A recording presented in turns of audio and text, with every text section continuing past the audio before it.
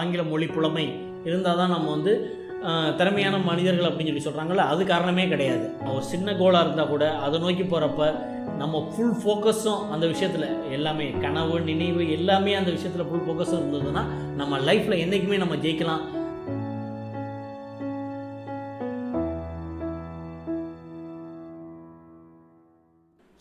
வணக்கம் தோழர்களே விமானோ சுரேஷ். லைஃப்பில் வந்து நம்மளோட முன்னேற்றத்துக்கோ நம்மளோட வெற்றிக்கோ வந்து மொழிங்கிறது வந்து ஒரு சப் ஆப்ஜெக்ட் அதான் அப்படின்னா ஒரு துணையாக தான் இருக்கும் ஹெல்ப்ஃபுல்லாக தான் இருக்குமே தவிர அது மெயினே என்றைக்குமே கிடையாது. சில பேர் ஆங்கில அறிவு இல்லை ஆங்கில அறிவு இல்லைங்கிறனால இவனுக்கு எதுவுமே தெரியாது அப்படிங்கிற மாதிரிலாம் சொல்லுவாங்க. பட் ஆனால் அது உண்மை கிடையவே கிடையாது. நீங்கள் எந்த இதாக இருந்தாலும் உங்கள் சொந்த மொழியில் நீங்கள் யோசித்து நீங்கள் அதை பண்ணிங்கன்னா அந்த செயலில் வந்து ஃபுல் ஃபோக்கஸ் அதான் அப்படின்னா கனவிலும் நினைவிலும் எல்லாத்துலேயுமே வந்து ஃபுல் அண்ட் ஃபுல் அந்த ஃபுல் ஃபோக்கஸ்லேயே இருந்தோம்னா நம்ம என்றைக்குமே வெற்றி அடையலாம். இன்னொரு விஷயம் நம்ம படிச்சிருக்கோம். படிச்சிருக்கோம்னா அந்த துறையில் ஏதாவது ஒரு துறையில் நம்ம வந்து இப்போ அந்த அறிவு நம்மளுக்கு பிடிச்சிருக்க துறையில் நம்ம தேர்ந்தெடுக்கிறோம். தேர்ந்தெடுத்து அந்த துறையில் வந்து நம்மளுக்கு நம்ம படித்த விஷயம் ஏற்கனவே இருந்துச்சுன்னா அதையும் அப்ளை பண்ணி பார்க்கலாம். அந்த விஷயத்தை நம்ம நடைமுறையிலையும் கற்றுக்கணும் கற்றுக்கிட்டு நம்மளோட சிந்தனை கற்பனை எல்லாத்தையுமே ஒன்று சேர்த்தோம்னா அந்த விஷயம் வந்து எப்படி சொல்கிறது மெருகேற்றப்படும் மெருகேற்றப்படும்னா வந்து வெற்றி அடையும் அந்த விஷயம் புதுசாக வந்து அடுத்தவங்களுக்கு போய் சேரும்.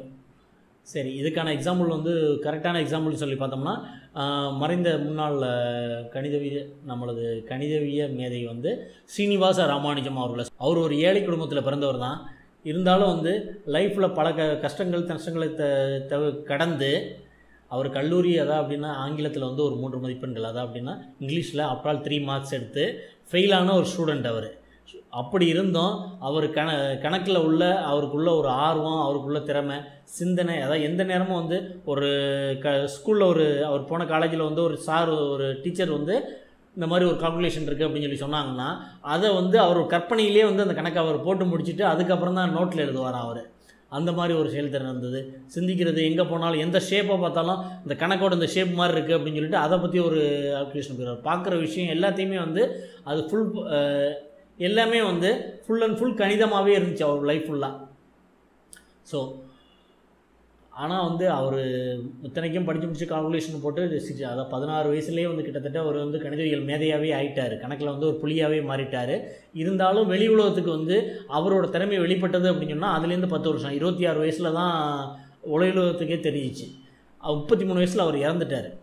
இறக்குறதுக்கு முன்னாடியே வந்து ஆங்கிலேயர்கள் அதாவது எப்படின்னா ஆங்கிலேயர்கள் ஆட்சி காலம். அப்போ இங்கிலாந்துலேருந்து அங்கே இருந்த கணிதவியல் மேதைகள் எல்லாமே வந்து அவர் ரிசர்ச்சுக்காக அவர் அங்கே கூட்டிகிட்டு போனாங்க. கூட்டிகிட்டு போயிட்டு அங்கேயும் மேலே ரிசர்ச் நிறையா பண்ணி கணக்கில் கிட்டத்தட்ட அவர் வாழ்நாளில் ஆறாயிரம் சூத்திரத்தை க ஆறாயிரம் சூத்திரத்தை அவர் கண்டுபிடிச்சார். கண்டுபிடிச்சி இன்னைக்கு வரைக்கும் வந்து கணிதவியலில் முடிசூடா மன்னனா அவரோட கால்குலேஷனில் கூட இன்னையோட ஆண்ட்ராய்டு நவீன உலகத்தில் கூட அவரோட கால்குலேஷனை நம்ம யூஸ் பண்ணுறோம் நிறைய இடத்துல. அது நம்மளுக்கே தெரியல ஆனால் அது மெருகேற்றப்பட்டு கொண்டு வந்திருக்கு கொண்டு வந்துட்டுருக்குறாங்க.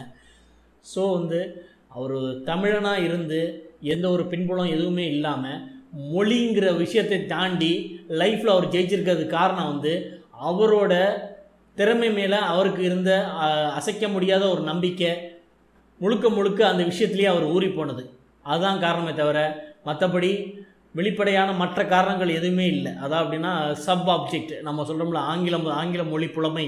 இருந்தால் தான் நம்ம வந்து திறமையான மனிதர்கள் அப்படின்னு சொல்லி சொல்கிறாங்கள அது காரணமே கிடையாது. சரி.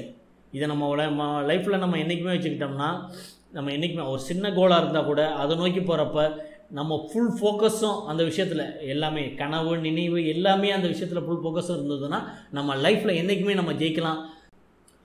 ஓகே தோழர்களே இந்த வீடியோ பார்த்ததுக்கு நன்றி.